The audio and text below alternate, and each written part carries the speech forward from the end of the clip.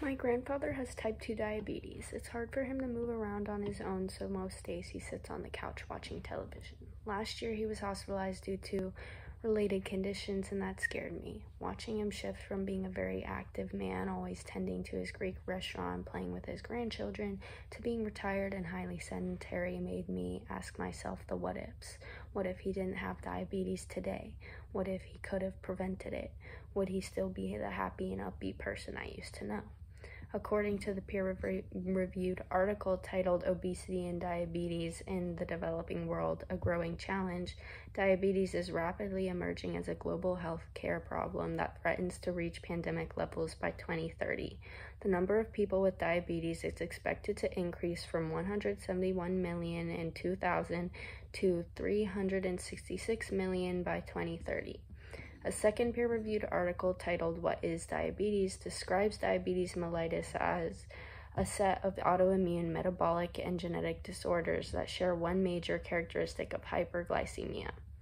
Type 1 diabetes, however, is slightly different than type 2 because of the way it can be acquired. The article goes in depth to describe that type 1 diabetes is the cause of the immune system attacking insulin producing beta cells of the pancreas. Type 1 diabetes is normally caused by genetic or environmental factors. For example, I know someone who developed type 2 type 1 diabetes as a result of being stung by a jellyfish. It is generally difficult to avoid type 1 diabetes because of the genetic genetic factors related to getting it. On the other hand, type 2 diabetes can occur due to a complex metabolic disorder associated with B cell dysfunction and varying degrees of insulin resistance. This is where we can look for prevention methods because we can see other variables that directly correlate to this disease. The peer reviewed article titled Obesity and Diabetes in the Developing World says that type 2 diabetes is often linked to obesity, which tends to bring on many other health related issues such as cardiovascular disease and some cancers. A third peer reviewed article titled Preventing Type 2 Diabetes in Communities Across the U.S. states that type 2 diabetes can be prevented or delayed in those at high risk through a structured lifestyle intervention. It also mentions that in order to bring lifestyle interventions to communities across America, Congress authorized the CDC to establish and lead the National Diabetes Prevention Program.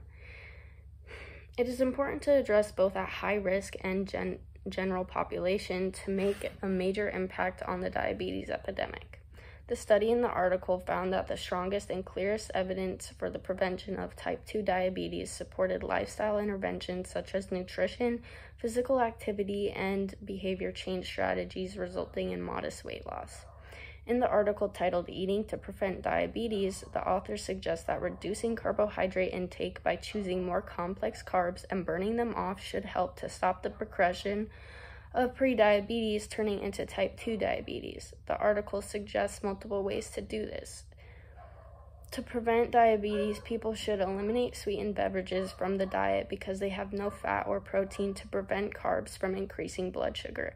People should also cut back on foods with added sugars and instead reach for whole grains, whole grain breads and pastas, brown rice and wild rice. People should also make sure to eat enough protein as it slows the rate that carbohydrates enter the bloodstream, keeping sugar levels steadier.